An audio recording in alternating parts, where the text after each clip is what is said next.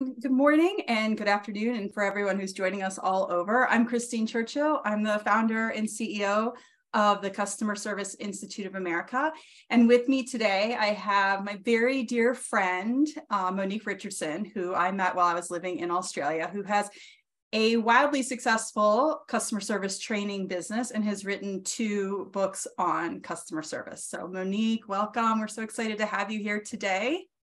Thank you so much, Christine, and a big uh, good morning, good afternoon, everyone. Absolutely thrilled to be here with one of my favorite people in the entire world and fellow customer service passionate advocate in Christine. So wonderful to be here. Oh, thanks, Monique. So I was so excited to see how many people signed up for this webinar today. We are going to be talking about something so important, which is experiential customer experience and moments of truth. So we're going to dive into what experiential customer experience is. Uh, some of you, many of you know what moments of truth are, but we're going to dive into that a little bit further in understanding how that really adds to the customer experience and what it means for your organization to have that as a focus area for not just your frontline team members, but for everybody in your organization. And we'll also finish up talking about, you know, customer loyalty and relationship building and, and what all that means and how you as customer advocates can make such a difference in your organization. So we're really excited about that. So Monique, I would love to hear from you um, about your take on the importance of customer experience or what experiential customer experience means to you. I think the importance of, of customer experience is really it like it's it's so critical in any organization. And when I think about customer experience, I think about it being that whole end-to-end journey and everything that happens for the customer. And I love that definition of customer service is what happens when the customer experience breaks down. So when I think about customer experience, it really is thinking about how do we design that end to end journey for the customer so that it can be a really seamless and very easy experience for the customer. And that focus on both how we then deliver that service when our customers do need to reach out to us, but thinking it from that very proactive space about everything. And when we're thinking about customer experience as well, from both the, you know, the frontline delivery, but also looking at everything happens you know behind the you know the scenes for the customer as well because there's so much in that design of the customer experience and that's exactly right. I think when I hear the term experiential customer experience, the experiential piece, I think, is it sounds kind of almost redundant, right? Experiential customer experience. But so many organizations and, and so many team members that I work with are often looking at customer satisfaction ratings mostly, right? And I feel like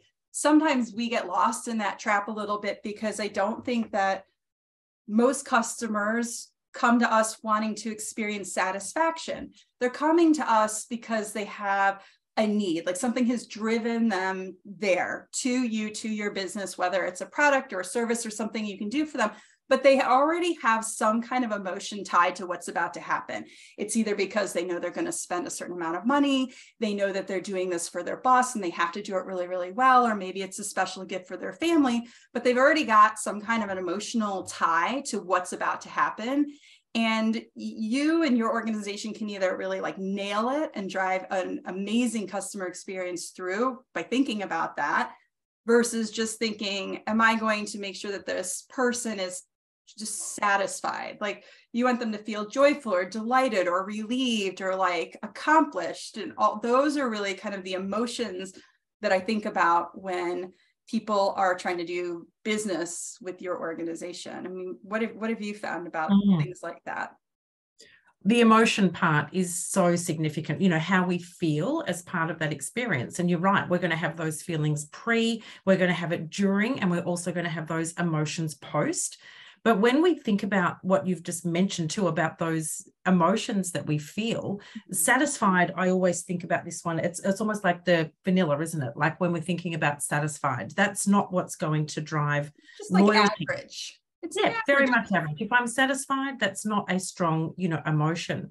And then when we look at going below that satisfaction, you know, I'm sure for many of us here on our webinar today that we've had experiences that have been less than satisfactory, where we've been made to feel angry and frustrated. So we see where that drives people away from the organization because as a human being, I don't want to have those feelings again. And if I'm dealing with someone who makes me feel frustrated, angry, upset, I will actively avoid dealing with those organizations. So when we flip it, when I feel delighted or excited or exhilarated because, or even just relief, that is what is going to make me want to go back and deal with those organizations and people again. It's also what makes me refer to my friends and family. So yeah. there was a, a, great study that was done actually by an Australian psychologist, Dr. Michael Edwardson, that actually was able to link those emotions to what we're going to talk about later with loyalty. That those really strong positive emotions. It makes sense, doesn't it? It drives loyalty. It drives highest, you know, highest levels of satisfaction. And that's where we can drive derive that loyalty from the emotions that we create. Mm-hmm. So the emotions become a very powerful part of that customer experience. That's right. And I think a lot of one of the words that I pulled out that you said was they actively. So like that emotions are drives those actions, right?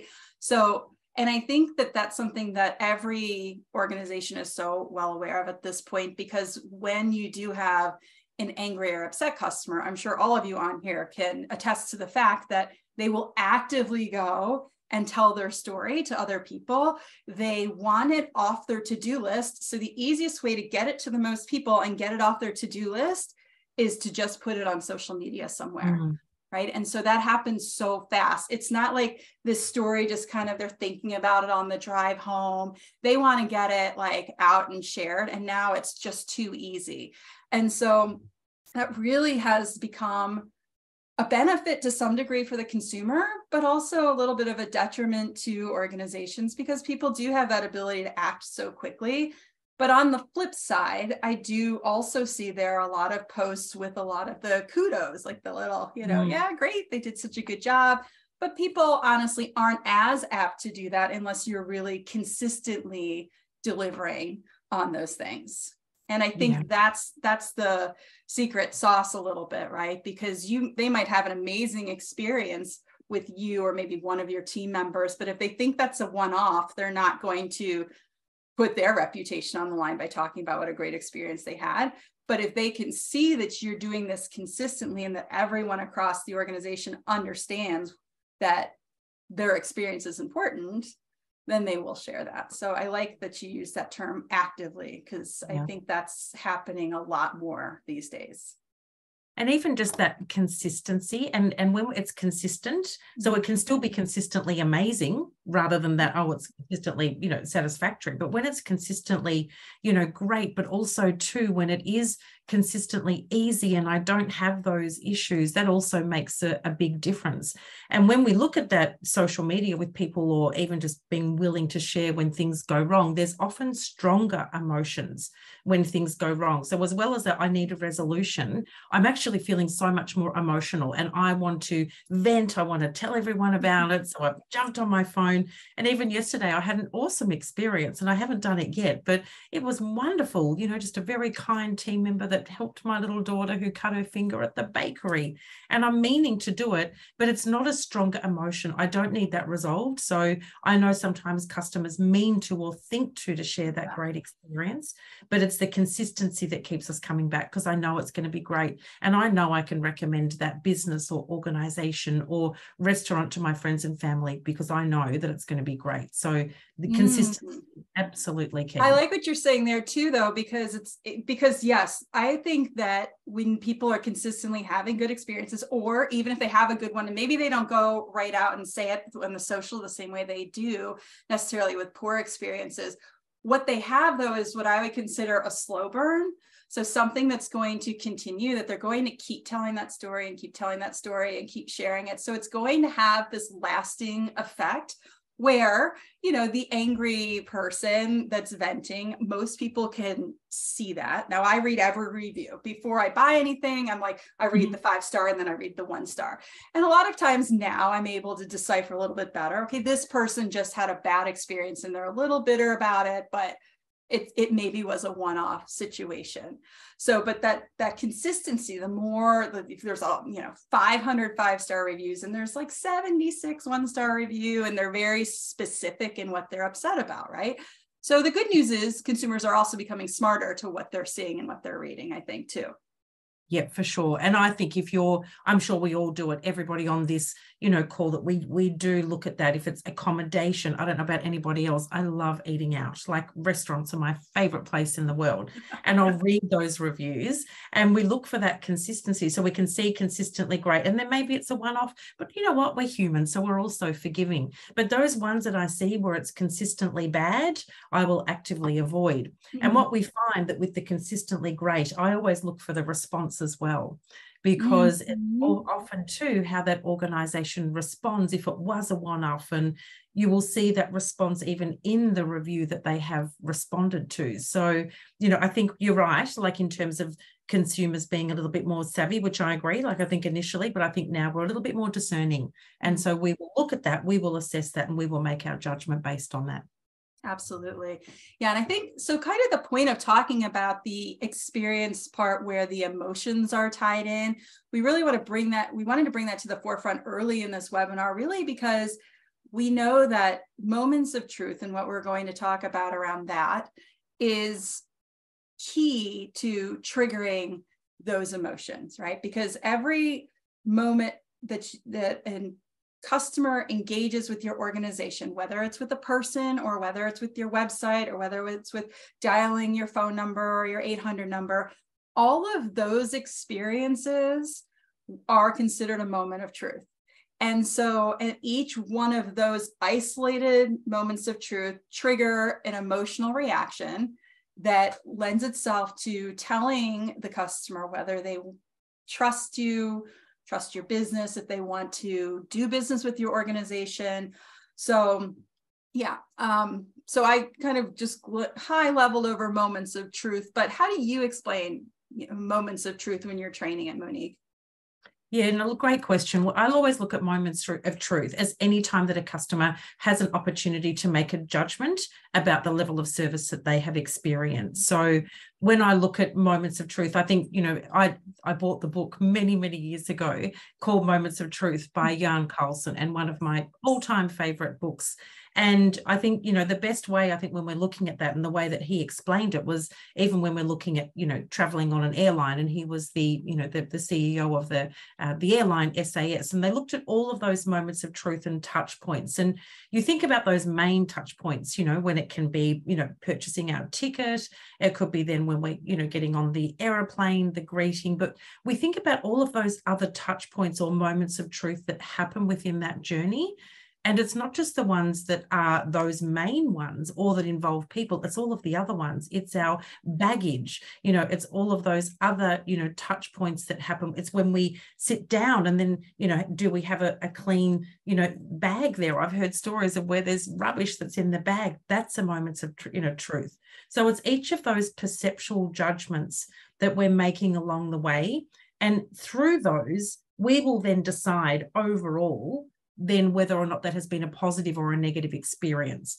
And there's some moments of truth that are going to be more important than others. So mm-hmm. I always use the analogy that if we're going out to dinner, you know, the lighting or the music is not going to be as critical usually depending on you know if you're on a first date or something than the food. That is going to be the most you know often the cr- most critical moments of truth. So we talk about i often think about it's really great to rate those moments of truth like even on a scale of one to mm-hmm. 10 of which of those are, are more significant or important.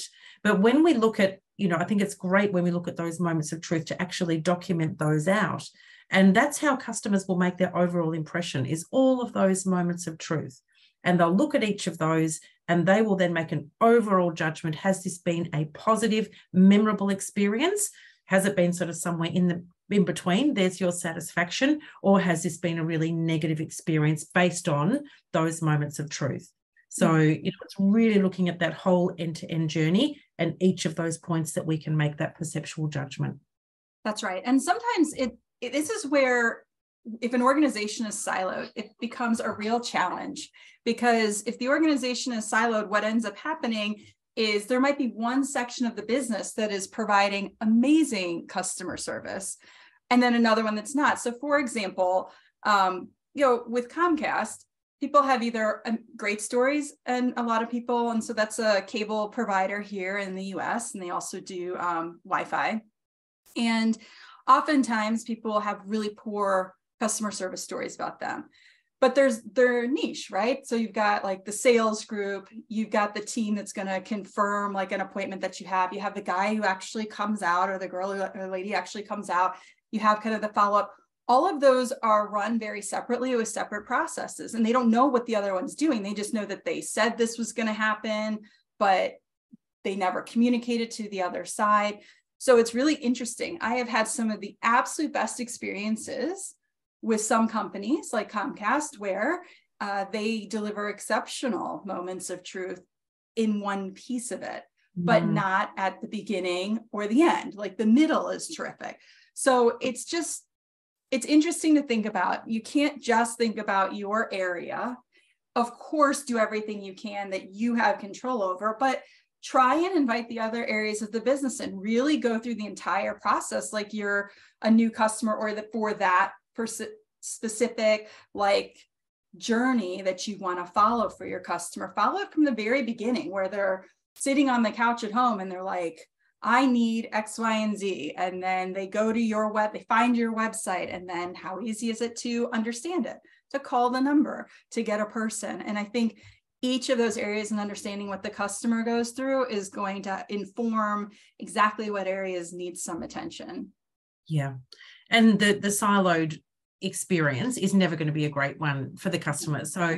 it's really thinking about it from an organizational perspective that when we're looking at that that journey and each of those parts of that, how do we make sure that that is seamless and easy so it just doesn't become clunky or where we've got one area of the business that I know hand on heart that when we're looking at dealing with customer service teams that they are, you know, uh, incredibly customer focused. But if they've got somebody even for example in accounts payable or receivable that doesn't have that same level of thinking about their part in the customer journey, we can see how easily it becomes undone to the point where if we don't have everybody thinking that same way about the customer, it feels like that for the, I feels like I'm dealing with six or seven different companies as compared to one organization where everybody is talking to each other and we've got that same seamless easy experience because that's what customers want. They want not, you know, no friction. They just want it to be easy and effortless. They want as minimal pain and frustration. So the siloed one that you mentioned, Christine, that's what creates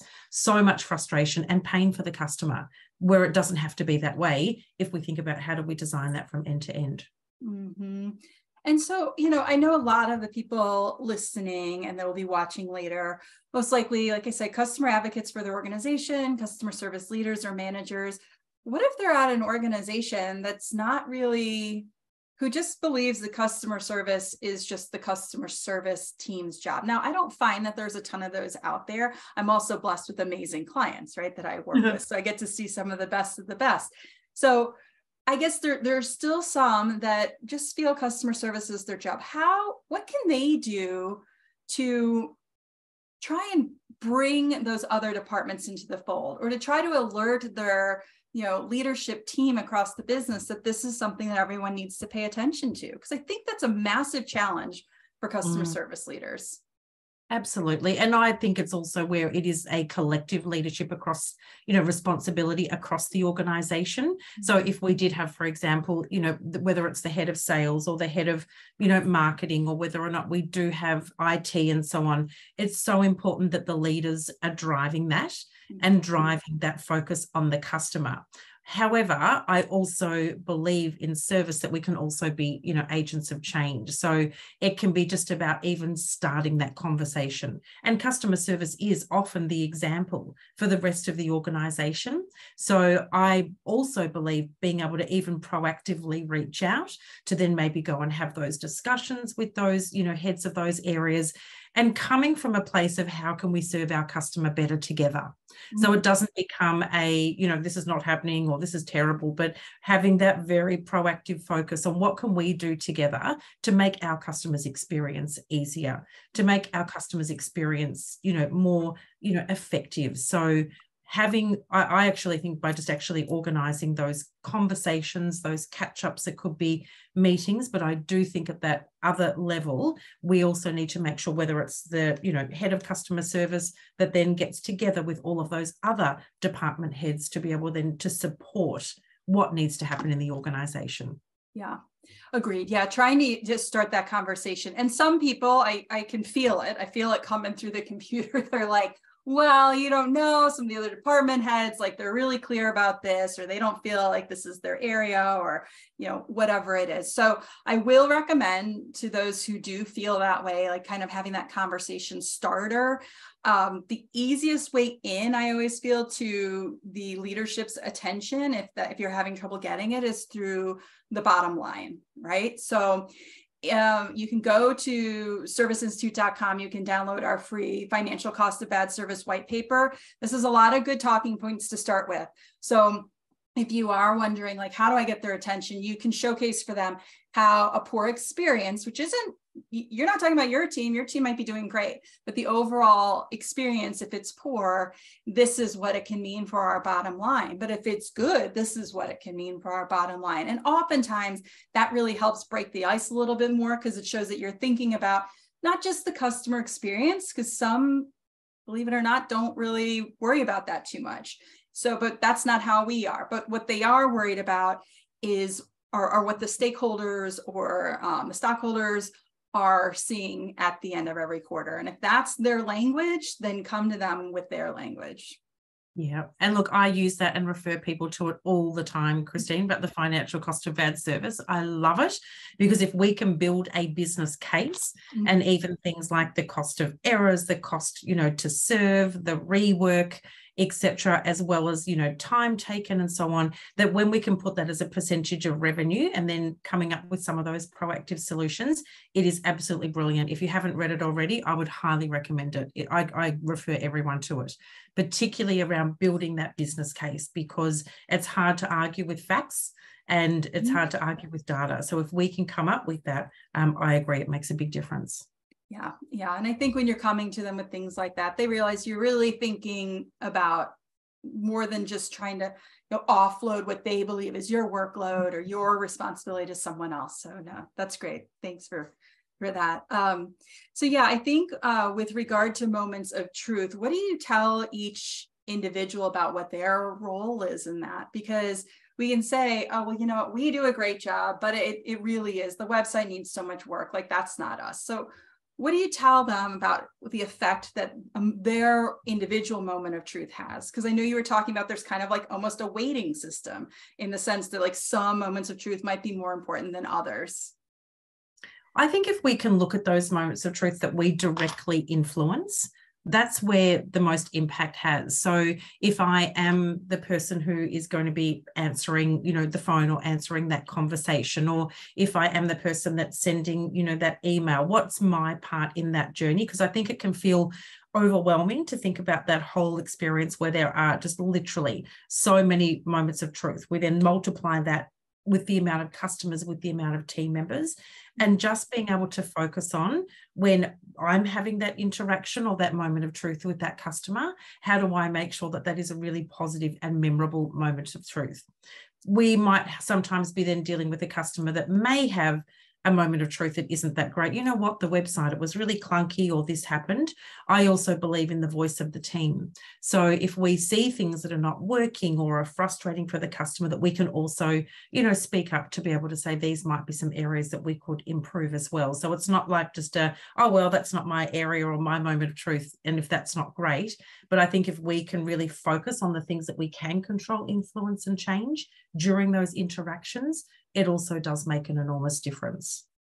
Yeah, and I love that you say that. Well, well first of all, any I always feel that any um, moment of truth that is has a person tied to it, like you're directly interacting with a person at that business, that holds more weight than whether they could find a phone number or not or whether you know the first place they left a voicemail if they called them back or not i don't know that those experiences weigh as much as when you do have an inner an individual experience with a person and how much mm-hmm. weight goes along with that but to your point they can hear it might be a frustrated customer and that's actually gold for a person who is really great at delivering moments of truth because they can actually keep notes. I mean, they are wanting the experience for that customer to be good, and they can take notes about some of the pain points that they had along the way. And so many organizations at this point now are really trying to focus on that innovative approach and they're trying to bring all their team members into the fold with that. So it's really a terrific opportunity for those who are trying to change what's happening at the organization so that all the moments of truth are more seamless uh, to take notes of note of that and to kind of feed that into the you know continuous improvement model or the innovation model that their business may have yeah and highlighting what you mentioned christine too just about the the power of the the person or that human interaction. Mm-hmm. and particularly if we do have a look at post pandemic even more so people are happy to do things themselves. You know i'm happy to self serve i'm happy to do things online i'm happy to do things digital i'm happy to do way too much shopping online. Did anyone else do one during the pandemic? I started to know my delivery driver by name. I thought i should probably stop shopping then. So we're happy to do things ourselves. So often when we are that moment of truth. When somebody reaches out to a person it's often because there is an issue or there might be a problem. And so that empathy that connection has become even more important than ever before because so many of those simple things we're you know able to do ourselves. So i think just highlighting to what you mentioned to the power of that human experience which i see continuing and continuing to have so much more impact because of why we then need to reach out to another person yeah, I mean, honestly, it's really that uh, now the super agent, right? I mean, when there is somebody on the other end of the phone, you can imagine that probably 70 to 75% of whoever's calling have tried to self-serve if your organization offers something like that. So they're really calling because there's some kind of issue with the self-serve option or that they have a really more in-depth question. So, you know, we can do a whole different webinar on what the super agent looks like now that it's not there's not as many contact centers that are set up in tiers anymore because they have to know so many different things because mm-hmm. they don't know who they're getting and most kind of tier one requests people are doing self-serve. So no that's a great point. Yeah. So i guess my next thing is taking us into you know the, that customer loyalty how all of this builds to that. Like how do, how do we get there? And i guess the easiest way would be actually just to ask some of our group here too, because I didn't make it clear. If you want to pop anything in the chat or you have any questions, please, please do that because we'd love to hear from you about any of the things that we're talking about. And also understanding you as a customer, not just from your business side, but for you as a customer, like what is it that makes you a loyal customer? So if you can take a couple moments and just drop that in the chat, because I'd love to hear that from you. Monique, where are you a loyal customer and why? So I am a loyal customer and I I am one of those people that if I love somewhere, I literally will give you my heart and I will refer you, I will recommend you. So I have a couple of others. I think probably um, a couple of brands that I'm loyal to. Now it's a very special occasion brand, but Tiffany's is one that I'm a very loyal brand to. You know, for those significant, you know, birthdays or events, I do love a little bit of just nice, simple jewelry. So, and then what I found with that is that as my even my children have got older, then that, but it's a, but because of that experience of how you're made to feel when you walk in the door and how they remember you, and then the follow up and the text and you know the offer of the bubbles. It's like it's all about that experience. I'm a very, very loyal customer uh, to that brand. I'm also a very loyal customer to my little local Thai restaurant because they have amazing food, amazing service. I've been going there for 20 years. I actually get hugs you know, when I go in there. That's how long I've been going there and loyal. Because again, consistency, I always know that it's going to be great. So when I think about loyalty, there's another, like I do eat a lot of food going out. So a lot of my loyalty does relate to be lots of if ever you visit Melbourne, everyone, just reach out and I'll tell you where to eat. But I think the loyalty is driven by the experience and how I am consistently made to feel. Mm-hmm. And that's when I look at those, you know, brands or organizations that I have never ever changed, that I am with you because of, again, how I am treated and how, you know, I'm made to feel. What about you, Christine? Have you got any that you're loyal to? Hmm, I do. Um, yeah, actually, I was just thinking of one, and then yeah, well, so restaurant, same, same. I have one that we go to locally. And it is fun because when we come, like the chef comes out of the kitchen and comes to talk to us. And it seems like people are always like, ooh, the chef is coming out. But it is, it is something special. And and the thing is, is I was going, I want to go back to something you said earlier, though, when we were talking about restaurants and, and moments of truth, and we were talking about how um, the food is like something that you, you want the food to be excellent. And that moment of truth is more important than some of the other ones like the music or the lighting but that doesn't make you a loyal customer what you just explained was that the, what makes you a loyal customer is how they are actually treating you so you might go somewhere and have a great meal but that doesn't mean you're necessarily going to go back consistently. It's that personal experience is that that's what shifted you or that's switched you into that loyal customer.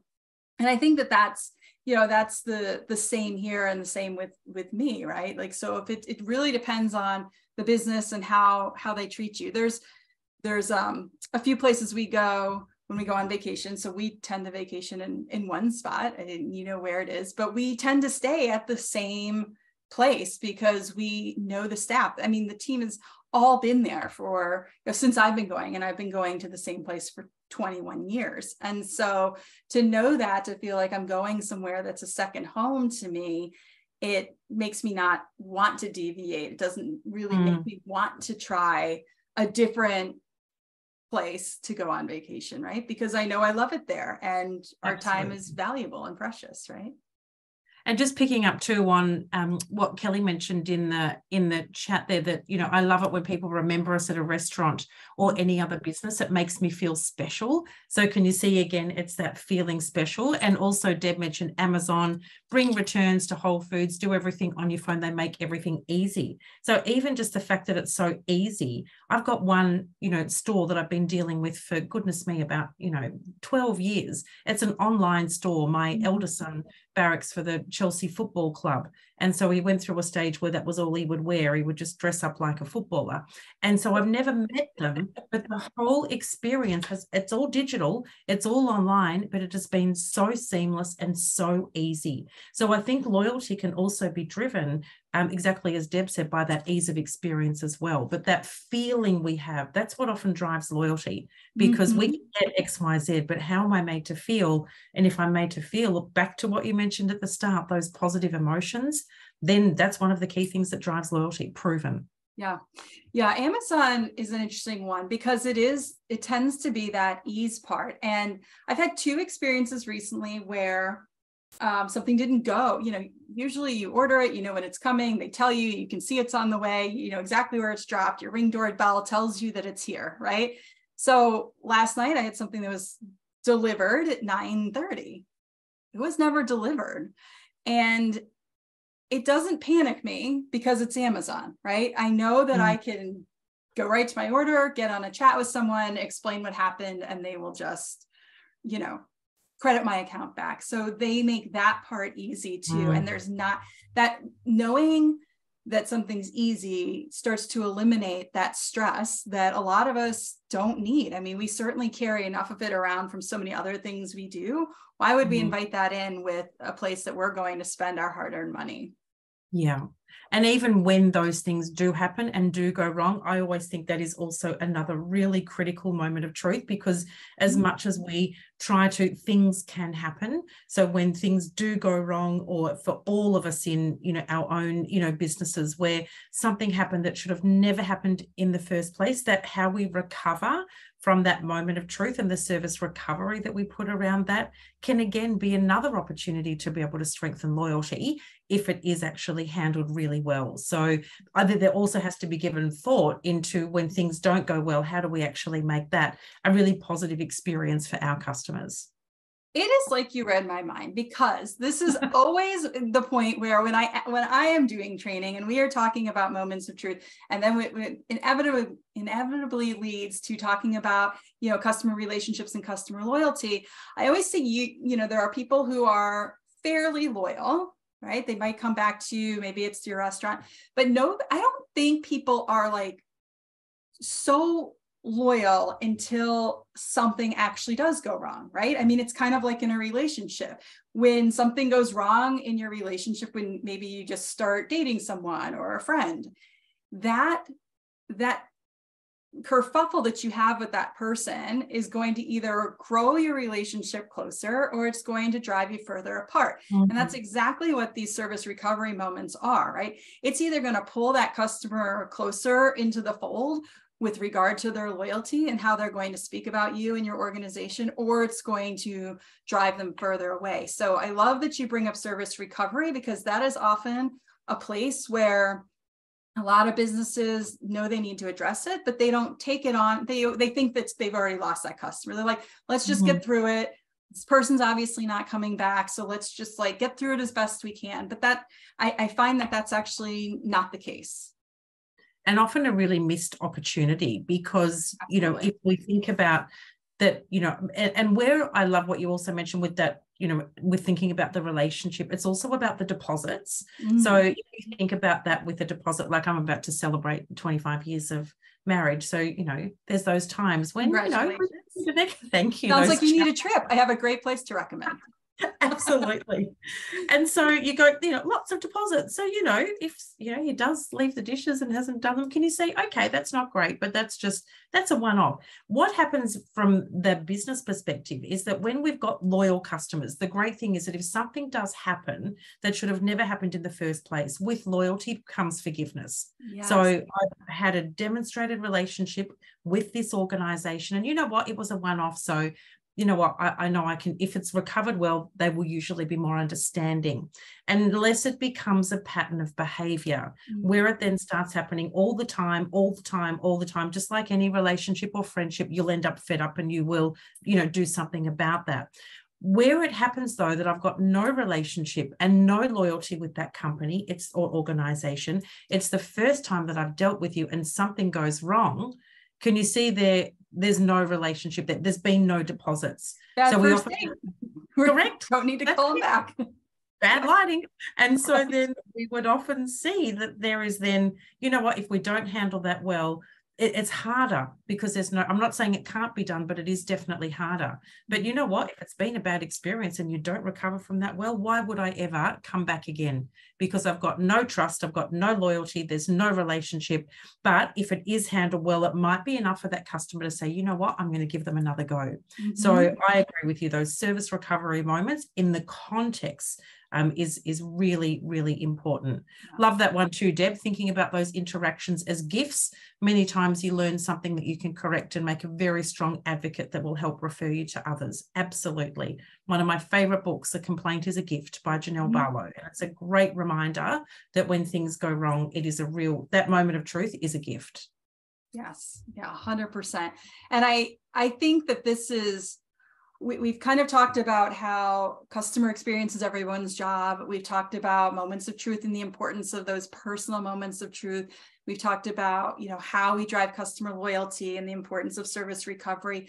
So, you know, we have a range of people listening now and that are also going to be watching this. So I would say um, my first question would be if people are just kind of starting to think about this, that you know customers are experiencing emotions as they're they're interacting with you and that's something to think about and the moments of truth piece where would someone start? Like in your opinion where where is, is the individual who's watching this going i know we need a lot of help at our company like mm-hmm. where would you recommend they start the first place I always recommend to start is looking at ourselves because I think that we change and influence things through ourselves. And mm-hmm. every single person who is on this, you know, call today or listening to this call, I think thinking about our personal impact and the ripple of that. Mm-hmm. So I always like to think about that with those moments of truth, asking myself that question: How do I want that person or that customer to feel yes. after that interaction. And i think that's a really powerful one.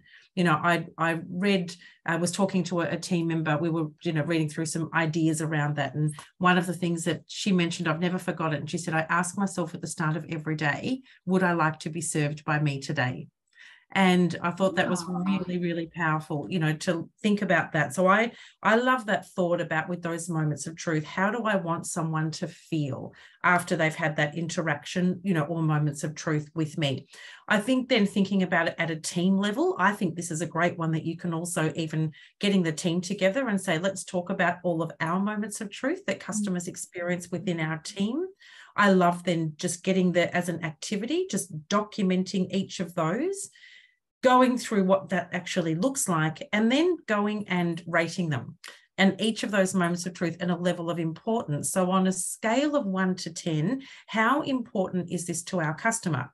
Back to the food example food, 10 out of 10 wine list 10 out of 10 um, it could be then the you know the cutlery 5 out of 10 so as an example so then you rate the, the importance then i recommend then saying how well are we performing each of those moments of truth. So mm-hmm. we'd rate the food, you know, we'd rate the cutlery, etc. And what we're looking for then is a moments of truth gap. So what we then look at is if I've got something that's a moment of truth as a nine or 10, and we're doing that at a four or five, what's the gap and what is the solution for how we can improve that moment of truth? We then come up with some improvements we then create some actions and we look at how do we then focus on that within our team. It's a great activity that you can do within a team environment, but I'm also about reflection. But then let's look at what actions that we can take to improve that.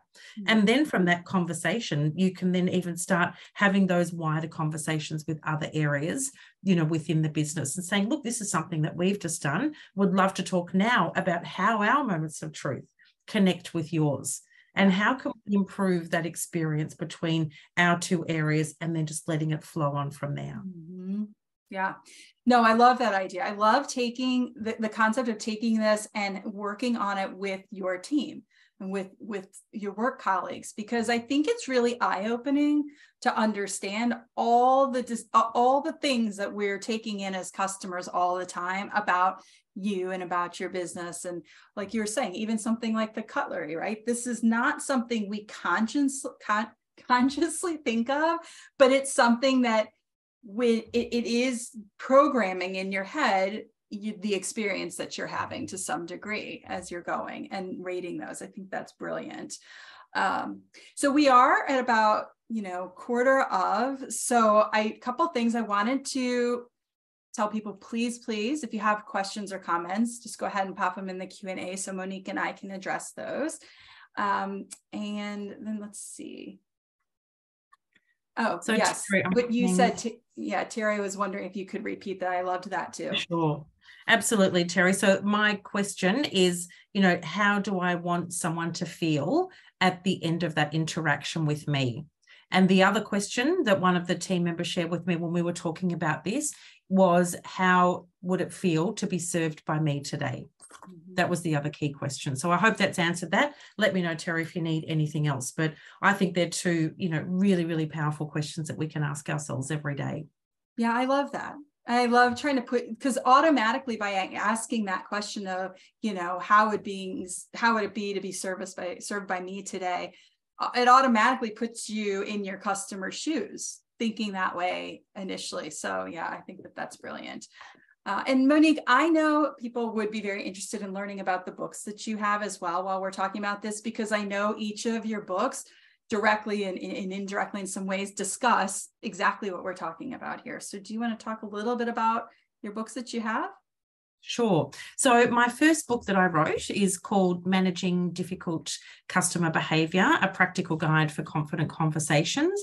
And I wrote that one during the pandemic when I saw how poorly our customer service community was being treated. And it was really a, a book that I wrote so that we could then look at how can we support our community. So, it's just here. You can see, I think I've got my little blur there. Um, and that one is available on my website as a free PDF. So I have made that one available for everybody because I want to make sure that everyone's got access to that one. So that one is a free PDF.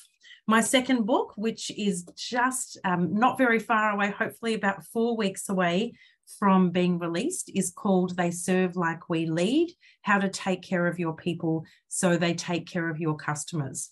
And this is a book for anybody who is in a leadership position, whether it's a team leader, leader, manager, to look at all of the practical ways that we can take care of our people so that they can deliver a great experience to the customer. So, as well as moments of truth, then there's a lot of employee moments of truth. And how do we make sure that we're taking care of our teams at each stage of those? So, that is hopefully about a month. We've uh, just got the second edit done. So, it's all very exciting and not very far away. And you've written that more as a practical guide too, right? Where people can actually use that, not like read it and then try and figure it out. It's is actually something they can use as a tool in their business. Absolutely. Yeah, I'm all about the practical and the how. So the same thing with the difficult behavior. You know, how do we de-escalate that conversation? And the service leadership book is the same. It's how. And you know, I'm all about my actions. So even at the end of each chapter, it's the here's the actions I'm going to take and some recommended tips for being able to put that into into place. So it's a real doing book. Uh, they both are. So yeah, so that's uh, very exciting with book three in the pipeline as well. Oh, Just gosh, that's new information even for me. Uh, the managing the difficult customer behavior. Tell everyone your website so they can go there and get it. Sure. It's just www. Monique Richardson, sorry, www.moniquerichardson.com.au. Yes.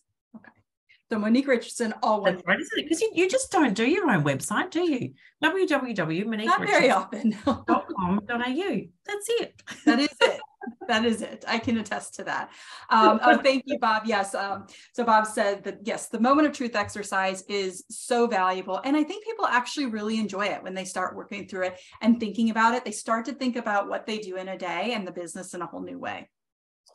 Absolutely. And I just find doing that one as a team, like it's just such a great team activity. If you've got a whiteboard or you've got a, you know, butcher's activity, I've done it online as well. It's an awesome one to be able to get all the team involved. Mm-hmm. Absolutely. Yeah. With so many people with hybrid workplaces now, there's there's great ways to be able to do that still within the virtual world with some of the whiteboard and et cetera. So um, other questions as Monique and I are, are beginning to wrap up.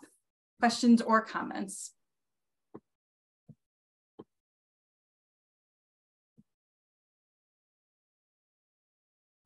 Well, Monique, I do have to say, today was such a pleasure, so much fun for me. I just enjoyed it. I mean, when do I not enjoy my time with you? I always do. So, but it's always great. You're contrib- contributed hugely valuable information to everybody here. And also for any of you who are interested, uh, one, we will be sending the recording out in case you had any team members that you would want to have see this or you'd like to share that with. And additionally, we will let you know when Monique's second book is available here in the next few weeks, which would, so if you're interested, you know, obviously you can order one at that time as well. Fantastic. And I just want to say thank you to uh, everybody here today and a big thank you to you, Christine. It was a, a number of years ago that we met, but when I met Christine, and I'm sure you can all attest to this, just your heart and your passion for service. And I know that we had that connection from the very, very first time that we met. So it's been an absolute privilege and honor to be here with you today, someone I deeply respect and admire in the world of service that just continues to passionately work to make a difference in the world. So a big thank you to you. Thank you, Monique. I mean, Same to you. Honestly, I will tell you when I started working with Monique and we would do training, there was a point where I would be like, I'm not, I'm not training on the same day as Monique and I have to go first. She cannot go in front of me because I never want to follow her because her personality and her ability to engage team member or uh, participants and make them laugh. I just was like, oh, that's just, I can't do it. So I absolutely love working with you and you yeah, I'm just thrilled that you're doing this because every day I know you make such a difference. And let's see, do you have a couple of, yes, Deb, thank you. The new book. And Gina, thank you. appreciate that. So, all right. Well, thank you all so much for joining us today. Um, it was such a pleasure, Monique. I do hope we get to do something again together soon. Absolutely. And we will. Love to. What's that? I said I would love to. And thank you, everyone, for being here. Yes, thank you. Thank you all for your time. And I hope you found it interesting and valuable. And until next time, we'll see you later. Take care. Thanks. Bye-bye. Bye.